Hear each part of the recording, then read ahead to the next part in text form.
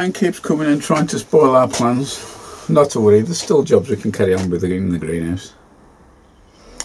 It was while I was having a quick look around the greenhouse, and then the sweet corn, I just lifted the lid up and saw it just started lifting the reds up, so I'm just starting to germinate now. And it was then I realised about the pot I'd put on the kitchen rail in the uh, greenhouse in the garden.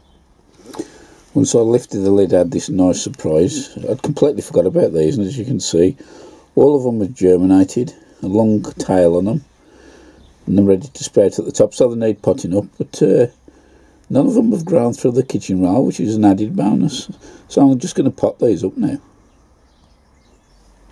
This is just a, a three inch pot with a bit of old comp this Verve compost I'm using out the bag. Just put a little depression in there like that. Grab hold to one of the sweet corn, pop him in,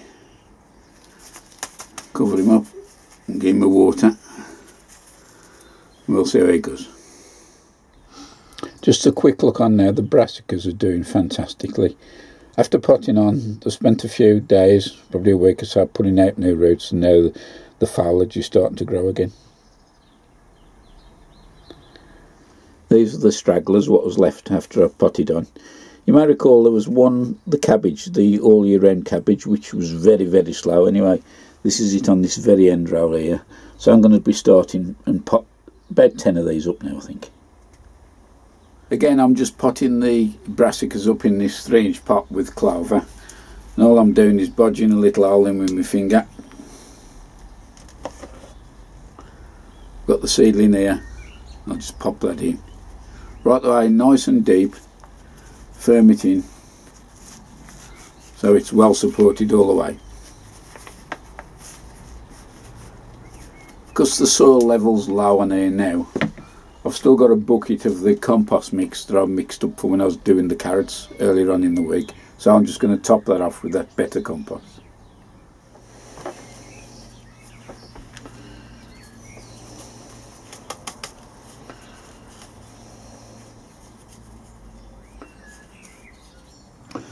So that's another 10 potted up of the cauliflower all year round. It's most noticeable as you can see there, the difference between the other brassicas, considering they was all sown on the same day. Anyway, I'm sure they'll catch up. What I'll have to do now is to label the pots up with the number seven, I think these are, the all year round cauliflower. With these spare brassicas I've got left over, what I think I'm going to do, I'm going to do a little trial of, uh, I'll pick a couple of the same variety, maybe calabrese, maybe cabbage, not sure yet and what I'll do I'll plant them into a clear plastic drinking cup I'll put one with the, the same soil and bath, but I'll put one just as is and the other one I'm going to add mycorrhizal fungi and actually see if there is a difference when you add mycorrhizal fungi to a brassica I'm struggling a bit for room, but here goes anyway.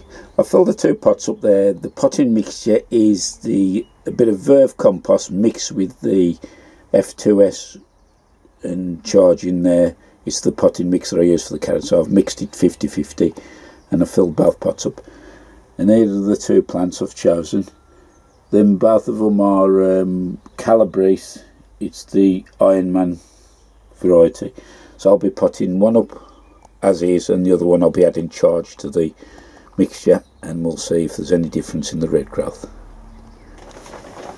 this is the first one to go this will be the plain one Just budge my finger in the hole, put the plant in, put him in just below his first set of roots.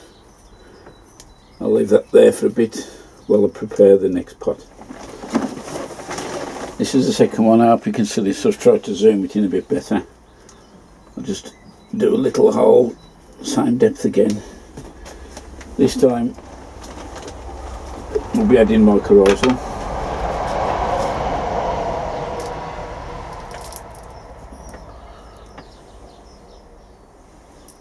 So I'll just pop the plant in now. Hold it two leaves, so I can see this. Budge it down. Plant it. I'll get them both the watering.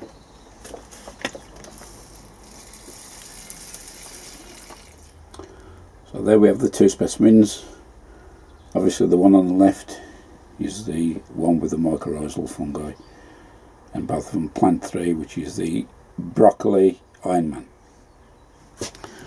One thing I didn't mention while I was putting those uh, two broccoli in doing the test is that uh, is something I noticed last night. Fortunately, I was watching um, a, a, channel, Dean's Lost the Plot. If you haven't been up there, go and have a look because he's got a great channel and he does some good work on there as well. Um, and one thing he did mention was that when you're using mycorrhizal fungi, is to use rainwater as opposed to tap water because the chlorine in that will counteract and attack the mycorrhizal as it gets wet. So I did bear that in mind and I have used rainwater to water those plants in. So uh, I just thought that's worth a good mention anyway. Well, uh, weather's still not playing ball. That, that means we can't get out on the allotment. Anyway, I thought for a change I'd take you to my local fruit farm and let you see what they got for the gardener. We've got some uh, Levington, both M3 and M2, and also a decent selection of grow bags. In the summer, all these fields full of fruit and veg for you to pick your own, predominantly strawberries. But here they have a few tunnels where they grow potted plants and also some veg as well. The plants are based on what size pot they're in. And we go around now have a quick look at the stuff for the gardener here, the vegetables, and these are the tomato plants. And what variety of these? These are called Tom Red. And moving across here, we've got some uh, sweet corn.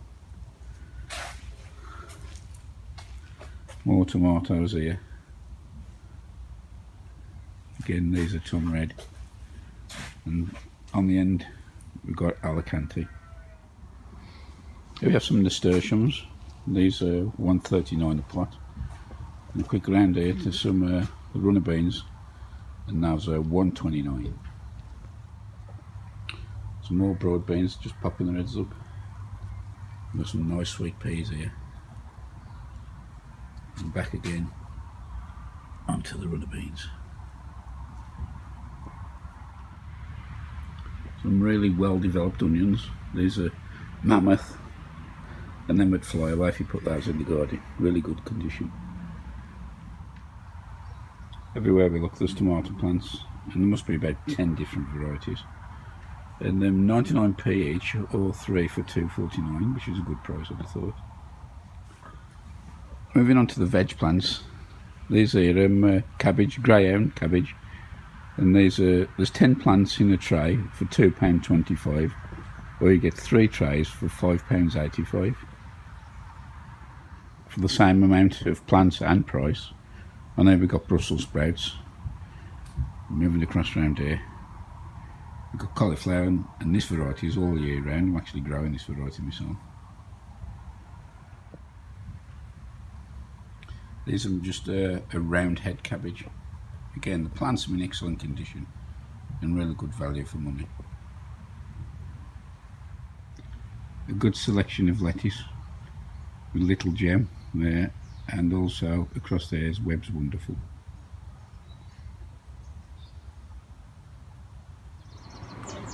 Another wonderful selection here of various herbs, thyme, sage, dill, parsley, oregano, mint, rosemary, thyme, you name it, they've got it. I didn't buy any plants on this occasion, but I did have a few polystyrene boxes that got lined down. Ideal for putting the leeks in We're in the greenhouse, I'll just quickly show you the peas. One of the subscribers asked regarding how they was doing and uh, they're under there. I tucked them under the shelf, they fit nicely in the bracket. There's the other one underneath and to be honest I was going to actually do a resow because it was very very slow but the last few days the temperature, the extra few degrees, they've started to pop their head up and so they look as though they're well on the way now. It's hard to film because everything else is in the way, but that's the idea. There is another tray which is over the back here, which is predominantly in the shade, and that's got nothing showing at all, sewing it at the same time. If I just have a look, I noticed in the corner, I could just see one of the heads poking up, so I'll leave it a few days, and if there's no joy there, I will end up resowing this one. Well, we got the welcome company of the sun. I think I'd make a start today on the strawberry bed.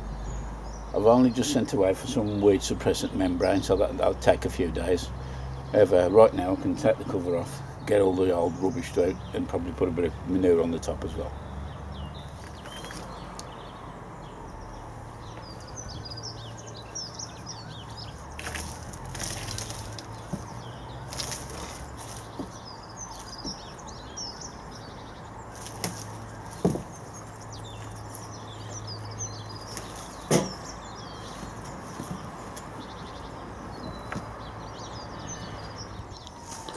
Just looking at this, you can see it's a right mess. There's brambles in, dandelions, and everything, besides the odd few strawberry plants.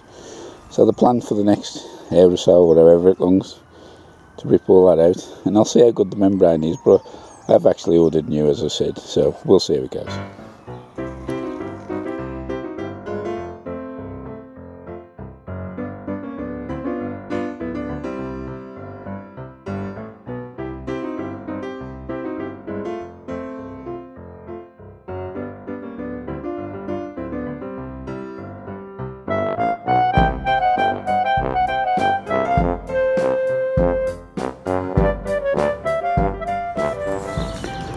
Well that's the first pass over the bed and I must admit I'm quite happy with that. There's got most of the strawberries out and the bindweed and whatever. What I plan on doing now is to give this a little light dressing of uh, well rotted horse manure and then possibly put some uh, rock dust on the top as well. And this is one bay of gold I've got. Can't emphasise enough how much this is valuable to the allotment here and I think everybody should try and get at least one bay going with rotting horse manure in. This has been in about nine or ten months. It was originally level with the top of the, the board and as you can see how much it has dropped. At the same time you can see the quality of that and that's beautiful stuff.